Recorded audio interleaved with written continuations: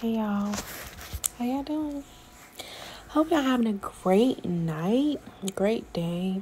It's been a long day. My Bible, my old Bible, like actual Bible. I done had this Bible for about I don't know how long. As you can see, it's falling apart, and it's just one arm. Here, I'm like, let me meditate for a minute. Let me let me try to meditate. I was going through so many things in my mind, and I'm like, God, is this what you? What do what do you need me to hear? What give me something like what do I need? Give me what I need to hear. Give me what I need to know. Give me what I need to share, right?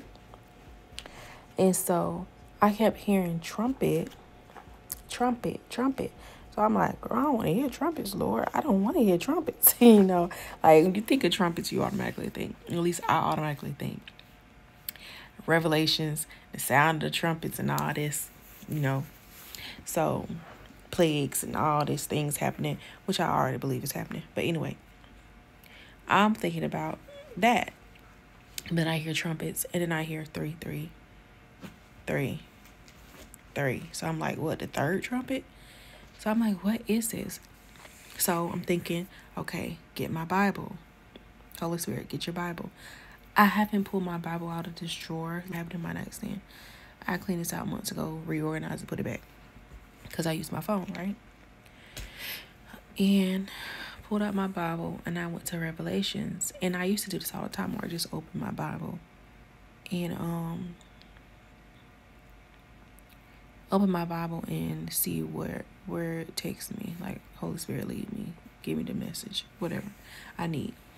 And that usually works for me. Like it used to work. I might want to start doing that again. I, I encourage y'all to do that.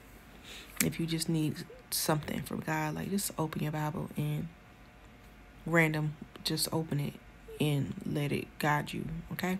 I went to Revelations and I'm like looking and I'm like trumpets and I'm like, I not seeing like what am I what I so I'm like, okay, no, that's not it.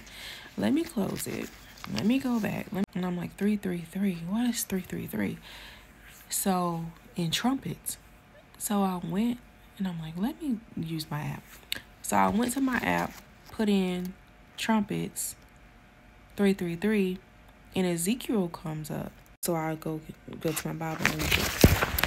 And in Ezekiel, Ezekiel, Ezekiel 33 and 3, it says, let me tell y'all what it say.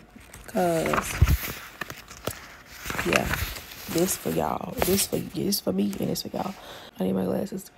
If when he sees the sword come upon the land, he blows the trumpet and warns the people.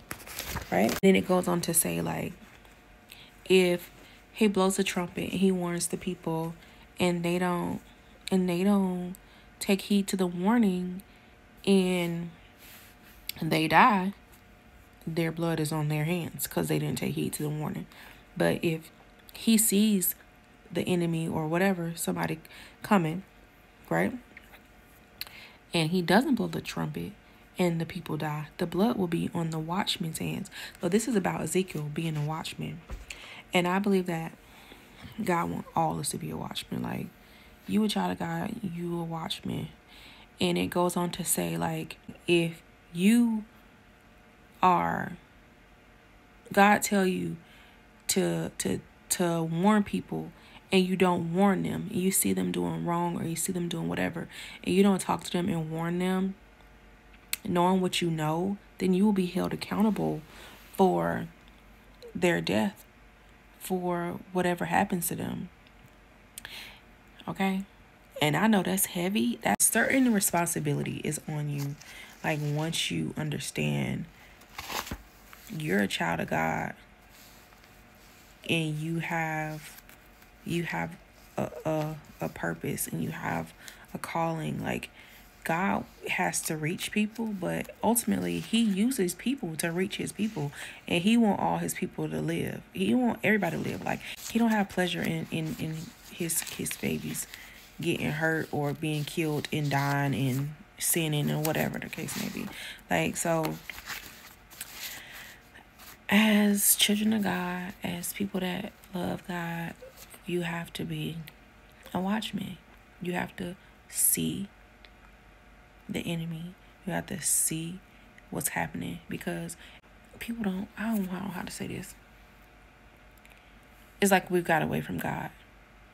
God is not like the first priority in, in anything. We put ourselves, our needs, and what we want before we put God, and it shouldn't work like that. Like we have to, we have to be watchmen. We have to be looking out, not just for our people or the people that are saved, but for those that are not saved. Because it goes on to say, like, if somebody is evil or they're sinners and they turn from their ways, their sins and everything that they did prior will be forgotten, will be forgiven, and they will live.